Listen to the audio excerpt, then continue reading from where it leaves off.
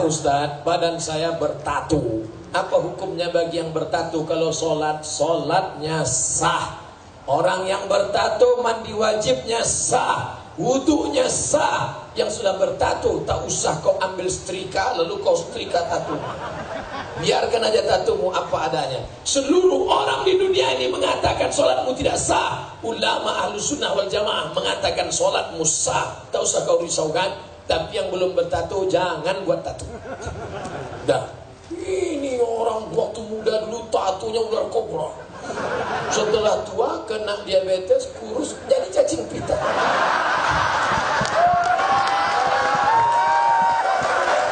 Dulu waktu masih tegak berotot, gambar burung Garuda mau menangkap ular di tengah laut. Gambar burung menyambar. Begitu kurus keriput, burung puyuh mendukan Sudahlah dia tua, dia sudah tobat. Diejek orang, Pak, Bapak bertatu kan? Sholat Bapak tidak sah. Menangis dia. Udahlah lisut keriput gak sah. Tenang saudaramu, sholatmu sah, sah. Tak usah kau risaukan masalah tatu itu. Ustadz ada tatu. Dulu Dulu waktu sekolah, tapi tatunya tidak permanen. Sebelum berangkat sekolah ambil spidol. Rano Karno. Ustaz, jujur saya pernah sholat sambil mabuk. Kira-kira diterima apa tidak? La taqramus salata wa antum sukara. Jangan kamu sholat ketika sedang mabuk. Ada dulu zaman kejadian zaman Nabi orang sholat sedang mabuk. Ada. Ketika sedang mabuk dia sholat. Wala ana abidu ma'abadtum wala antum abiduna ma'abud Wala ana abidu ma'abadtum wala antum abiduna ma'abud Wala ana abidu ma'abadtum Gak dapatnya simpang lakum dinukum waliyadi Makanya jangan sholat ketika sedang mabuk. Sholatmu tidak sah. Syarat orang yang sholat balik dan berakal. Orang yang mabuk akalnya hilang. Itulah mengapa Allah Allah haramkan narkoba. Karena menghilangkan akal. Kalau sudah kau kena rusak, error, gila, mati. Ustaz saya pernah mencuri. Tapi hasil curian saya saya sedekahkan ini pasti yang buat pertanyaan Robin Hood. Saya baru tahu nih Pak Karutan, ternyata Robin Hood berada di sini. Warga binaan Rutan Salemba. Kita tidak bisa mencuci dengan air kencing. Ibu lagi ngapain bu? Nyuci. Nyuci kain, iya. Pakai air apa? Air kencing.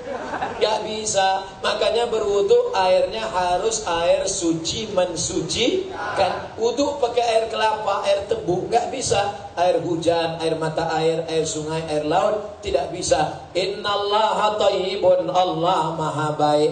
La yaqbalu illa thayyiban tidak menerima kecuali dari yang baik, Pak. Baik.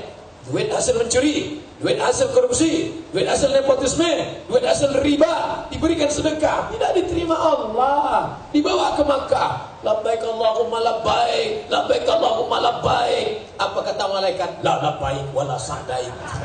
Kau tak dapat haji mabrur karena kau berangkat dengan uang hasil curian, hasil riba, hasil narkoba, hasil merampok, hasil merampas. Islam mengajarkan bersih awalnya, bersih tengahnya, bersih ujungnya. Saya ditahan sudah tiga bulan.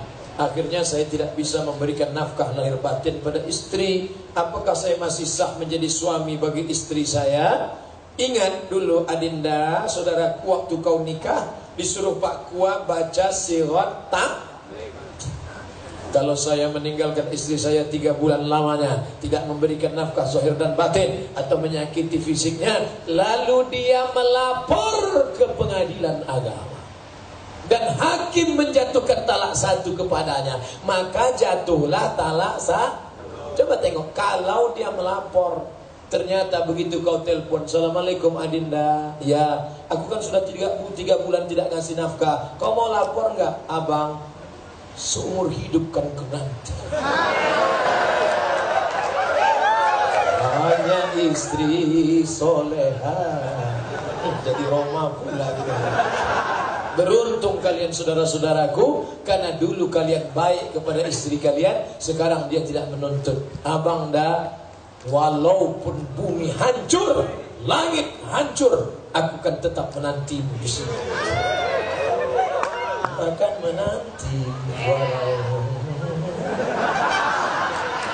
dia tetap menunggu. Kita doakan mudah-mudahan mereka sabar menanti di sana.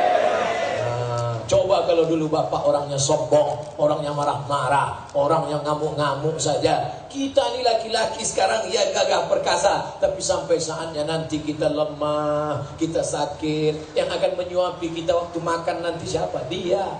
Maaf, makannya bang. Ah, ah, ah. Coba kalau kita hari ini marah-marah, makan, makan, makan, makan. makan. Makanya dulu sehat.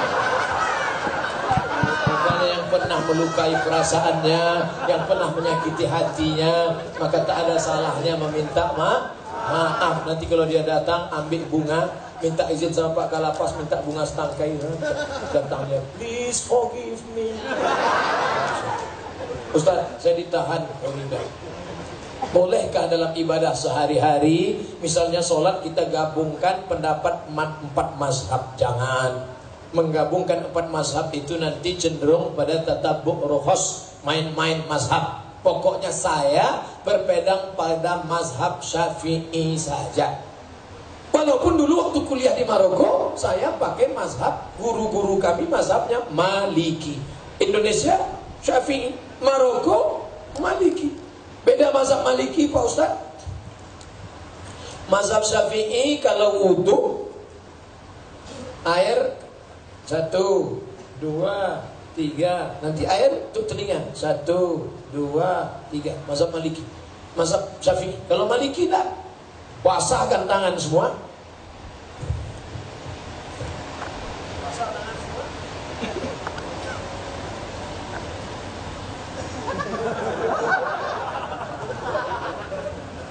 Mazhab Maliki mengusap kepala langsung dengan telinga satu kali usap. Dan ketika bersentuhan kulit mazhab Syafi'i batal. Selesai itu saya salaman dengan ibu. Kabar ibu, kena ujungnya, batal. Kalau Maliki enggak. Kalau bersyahwat batal. Kalau enggak bersyahwat enggak batal. Pas ada acara nikah, selamat ya, barakallahu lakum, kena ujung. Habis itu dia salat. Allahu akbar. Loh, ente kok enggak wudu? Enggak batal. Aku kan enggak ada syahwat. Pengantinnya jelek gak usah Tapi saya tidak main-main mazhab. Walaupun saya tahu mazhab maliki Saya tetap istiqomah pakai mazhab syafi'i. Karena cenderung nanti khawatir main-main mazhab. Bismillah mazhab syafi'i jahar. Bismillahirrahmanirrahim. Alhamdulillahi Rabbil Alamin Mazhab hambali bismillahnya sir Alhamdulillahi Rabbil Alamin Salat subuh mazhab syafi'i pakai kunut Sami Allahu liman hamidah Allahumma hadina fi man hadait Wa afina fi man afait Mazhab maliki Kunutnya sebelum ruku. Walam yakul lahu kufuan ahad. Tapi saya tak main-main mazhab. Subuh tadi saya jadi imam di Jambi.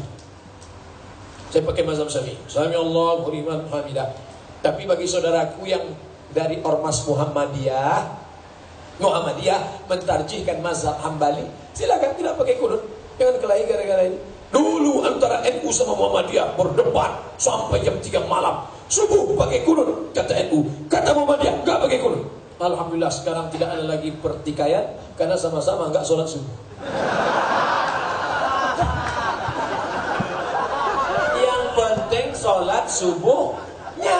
Makanya dibuat temanya sukses berkarakter menghormati perbedaan mazhab. Saya secara ormas lima tahun jadi sekretaris lembaga Bahsul Masail Nahdlatul Ulama. Pakai mazhab Syafi'i. Tapi saya punya kawan dari Muhammadiyah, mereka pakai mazhab Hambali, tapi saya tidak campur-campur mazhab supaya tidak terjerumus dalam main-main mazhab.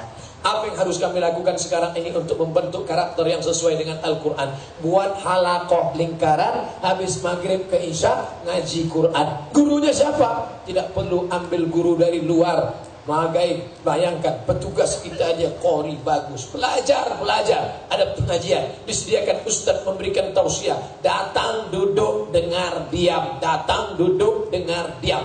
Ngantuk-ngantuk dikit diampunkan Allah Ta'ala. Itu kenapa tidur? Tidurnya adalah ibadah. Itulah. La ilaha illallah Muhammadun Rasulullah